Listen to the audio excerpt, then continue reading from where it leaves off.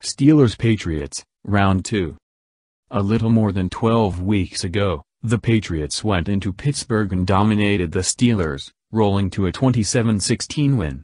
In that game, Rob Gronkowski had a significant impact, while Ben Roethlisberger did not. Now, the script has been flipped ahead of Sunday's AFC title game. Gronkowski is out due to injury for the Patriots, while Big Ben is back and healthy for the Steelers, ready to take on one of his biggest rivals, Tom Brady.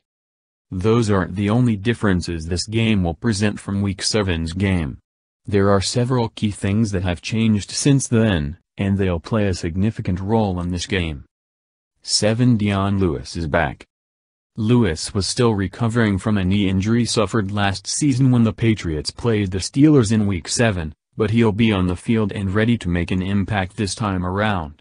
Against the Texans on Saturday, Lewis hit the trifecta with three touchdowns, becoming the first player ever to score on a rushing, receiving and kick return touchdown in a postseason game. Do you think he's a valuable piece for the Patriots? Yeah, that's a safe bet. His workload has been steady in recent weeks, getting at least 11 carries in each of his last four games. LeGarrette Blount is still the workhorse in New England, but Lewis will play a significant role in this one in multiple facets of the game. 6. Jamie Collins is in Cleveland. Remember that Jamie Collins guy? Yeah, he was out there against the Steelers back in Week 7, but that was just before his shocking trade to Cleveland. He led the Patriots with eight solo tackles, proving to be a key factor against Le'Veon Bell and the Steelers' offense. Collins is a rangy linebacker with outstanding coverage ability, but the Patriots won't have him at their disposal in this one. Instead, they'll rely on Dont'a Hightower and Kyle Van Noy to fill his place a bit, both against the run and against the pass. Both are capable players with some saying Hightower is actually a more complete linebacker, but replacing Collins won't be easy against the Steelers. He has the speed and recognition to contain Bell and not let him break big runs. 5. Julian Edelman has become a true number one receiver. In the first eight games of the season, Julian Edelman was averaging 5 catches and 45 yards, 41 receptions and 358 yards total. Since then, he hasn't had a single game with fewer than 73 yards and 5 receptions. His total in the nine games since Week 10 are 65 receptions for 885 yards. His turnaround since the Steelers game, when he caught nine passes for 60 yards, has been remarkable. He's become the true number one receiver he was two years ago, and it's made a world of difference for the Patriots. They're no longer dependent on Rob Gronkowski, and Brady can always depend on Edelman to not only get open but make guys miss and gain valuable yards after the catch. In his last two games, he has 288 yards on just 16 receptions.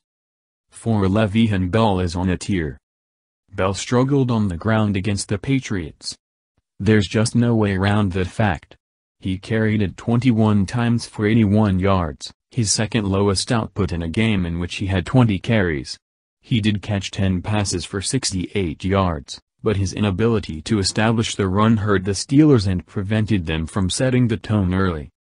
Since his slow start, Bell has been an unstoppable force for the Steelers. He's rushed for at least 100 yards in seven of his last eight games, averaging more than 170 yards from scrimmage per game. He was absolutely someone the Patriots had to game plan for in Week 7, but Bell is a different player now than he was back in October. 3. The Steelers' secondary is much improved. One of the best moves the Steelers made this season was elevating rookies Sean Davis and Artie Burns on the depth chart. They've since moved from backups to starters, and it's made a world of difference for Pittsburgh's defense. Against the Patriots, Burns played just 35 snaps on defense, or 61.4%.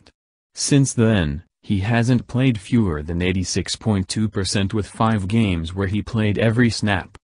Davis' improved playing time has been even more jarring, going from three snaps in Week 7 to playing 100% in each of the final seven games. Of course, they're not the only reasons for Pittsburgh's improved pass defense, but they've played a huge role in it. The Steelers haven't allowed more than 253 yards passing since Week 10. 2 Rob Gronkowski is injured. The Patriots went into their Week 7 game against the Steelers with their best weapon fully healthy. Rob Gronkowski was the force that he's always been, catching four passes for 93 yards and a touchdown. Gronk, of course, won't be available for this game, and it'll be a significant blow for the